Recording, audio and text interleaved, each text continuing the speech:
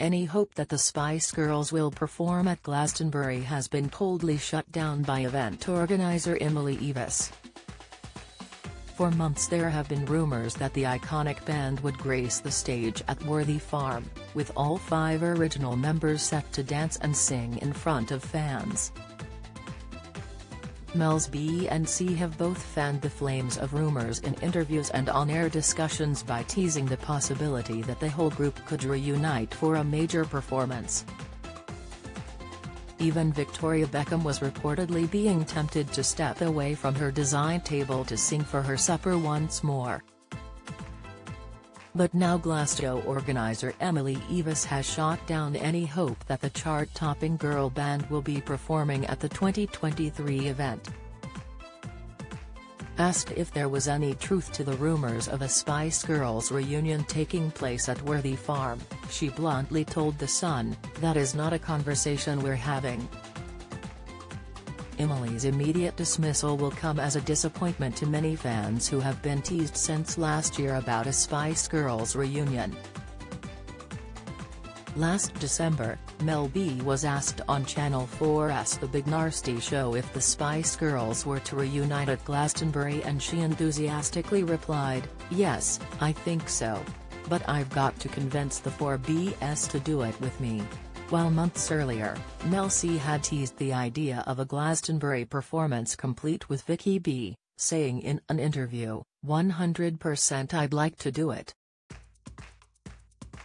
I believe that is too big a gig for VB to be busy that night.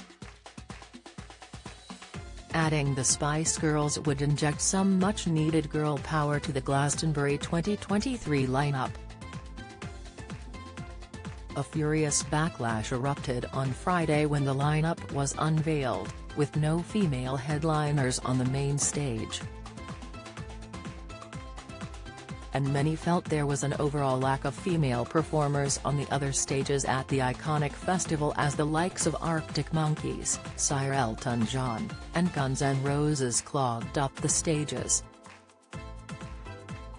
Emily has already been out to defend the festival after fans noticed 53% of performers confirmed so far are male and just 43% of acts are non-white. She pleaded to The Guardian, we're trying our best so the pipeline needs to be developed. This starts way back with the record companies, radio. I can shout as loud as I like but we need to get everyone on board. She continued to say Glastonbury is entirely focused on balancing our bill in terms of gender but every aspect of diversity but music fans have called the lineup awful in terms of diversity. Independent's culture and lifestyle news editor Roisin O'Connor said, Situations like this year's Glastonbury lineup are a direct symptom of industry failures to support female artists from the ground up. Getting them on the smaller stages, on radio, at live venues, Follow Mirror Celebs on Snapchat, Instagram, Twitter, and Facebook.